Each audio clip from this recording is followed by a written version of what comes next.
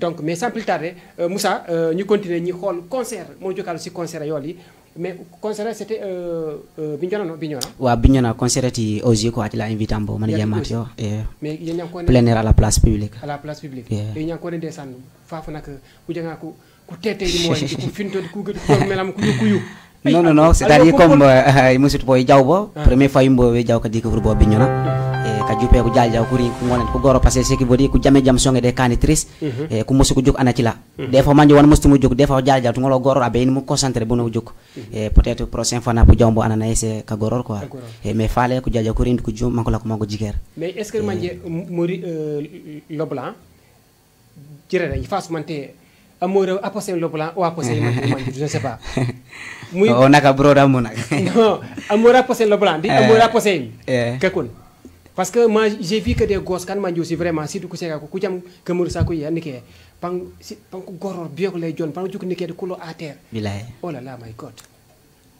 c'est toujours c'est le fils de bu yalla bilaay len sen bu yalla wa kam mi man ko rek bu yalla wa fu wonto parce que bu yalla ku yalla ok merci beaucoup allez Moussa sans plus tarder Moïse eh. voilà euh, ñi xoli touti xalé bi fo di côté de euh,